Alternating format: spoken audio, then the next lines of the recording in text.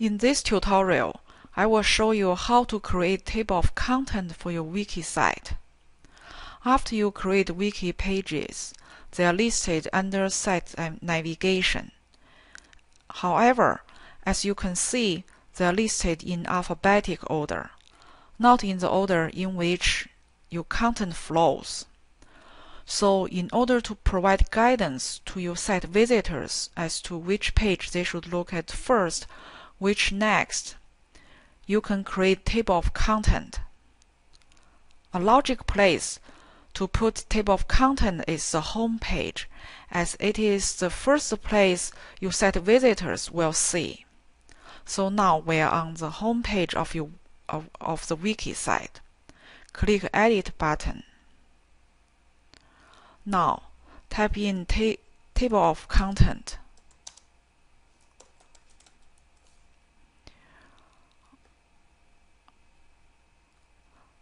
It is better to uh, align it in the center. Also, maybe choose a little bit larger font.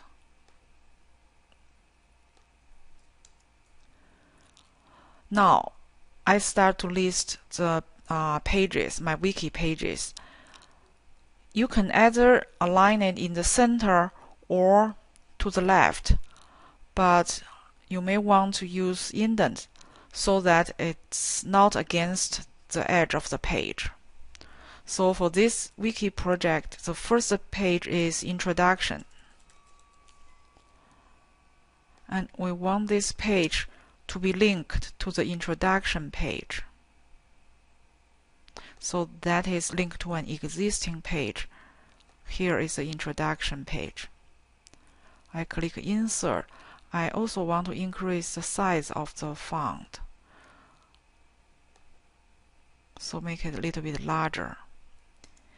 And the next page is experiment. So the same thing I link it to the experiment page in the same way uh, as I link to the introduction. Here, actually, I can type in all the titles and then change the font um, at once all together.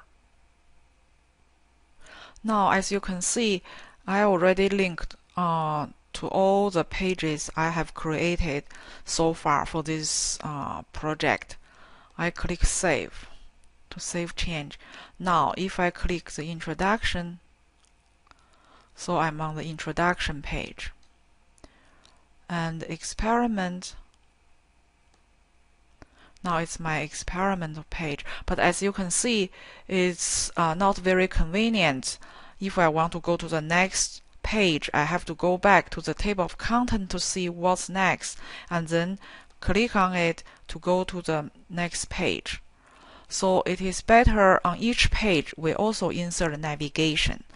For example, here if we're on the results and discussion page, we can add a previous button and the next button to uh, help our site visitors to go to the previous page and the next page.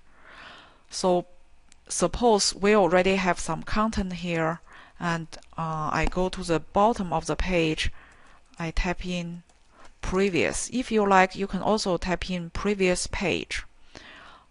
Uh, and then next for next page.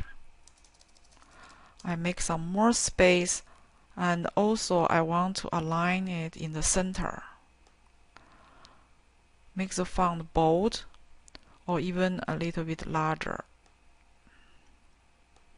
Now, I should link the previous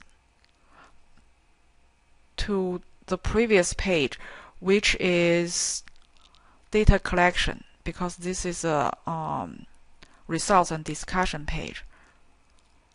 And then the next page is the conclusion page. So I click the wiki link and then I select conclusion. So now my results and dis discussion page has the uh, previous and the next links to help my site visitors to go to the next page or the previous page. So now if I click next, I'm on the conclusion page.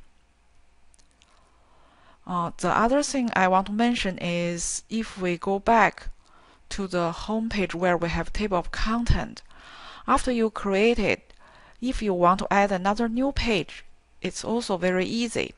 Of course, you can click New button to create a new page first, and then edit this uh, table of content page to add uh, a link to that page. Or you can just click Edit, and then add here first.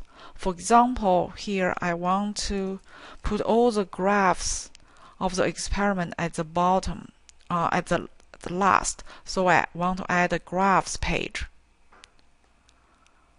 And here I click link. This time we don't choose link to an existing page because we haven't created the graphs page yet. We should choose link to a new page page name is graphs. Now I click insert. A new page is created. So here, if I click graphs, I'm on the graph page, graphs page, and then I can click edit to add my graphs. Thank you for watching.